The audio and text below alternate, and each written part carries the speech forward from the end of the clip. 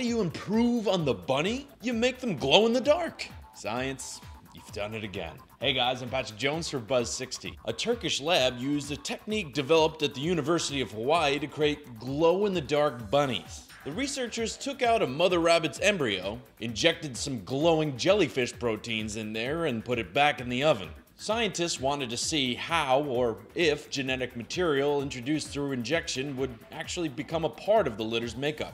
Two of the eight rabbits born glow in the dark. The theory is that there may be a better way to develop some medicines using similar methods. The rabbits are healthy, their glow doesn't affect them negatively.